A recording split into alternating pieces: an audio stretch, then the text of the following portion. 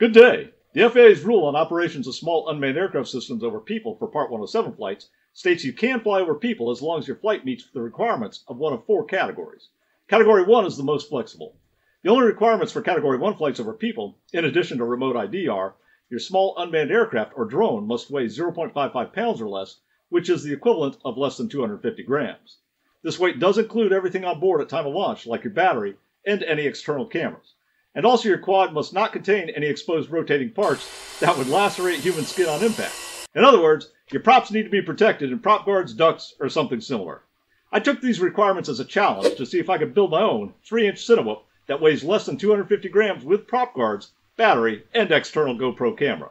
And I'm going to 3D print it. That's right, today we're going to turn this 3D filament into this 3D printed 3-inch Cinewhoop.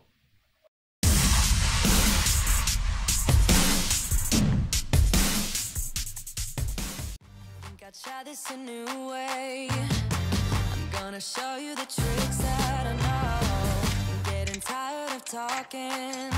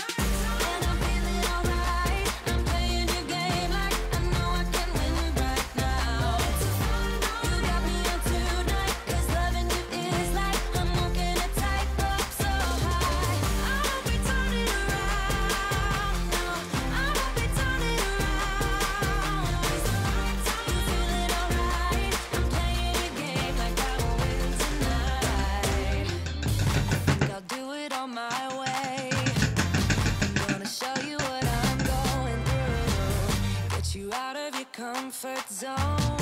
Cause I need more of the truth right now. It's time that you made your mind up.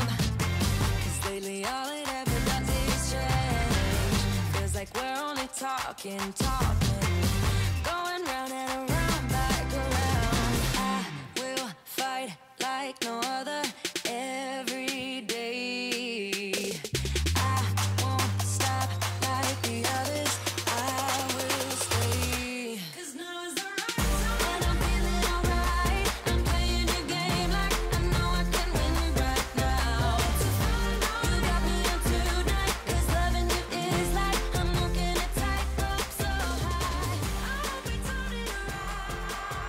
Fly fearlessly in clear skies, friend.